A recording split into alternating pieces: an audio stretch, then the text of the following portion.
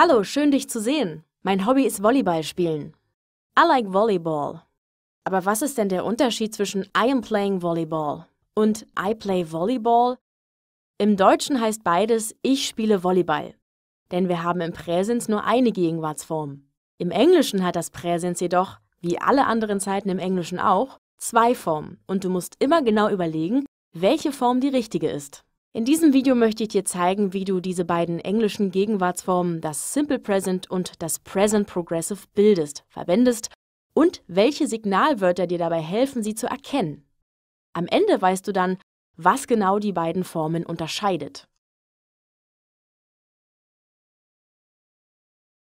Beginnen wir mit dem Simple Present. Um das Simple Present zu bilden, verwendest du einfach das Verb im Infinitiv, also seiner Grundform ohne t.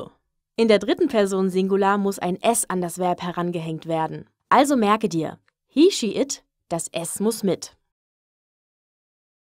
Das Verb to sleep, schlafen, in allen Personen heißt Den kompletten Film und viele weitere findest du auf www.sofatutor.com. Über 7000 Lernvideos erklären dir, was du für gute Noten wissen musst. Tests überprüfen dein Wissen nach jedem Video.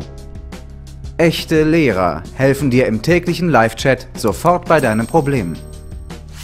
Du kannst außerdem Privatstunden bei deinem persönlichen Online-Tutor buchen, um tiefer in ein Thema einzutauchen.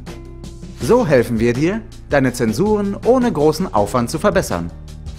Probiere es am besten sofort aus auf www.sofatutor.com.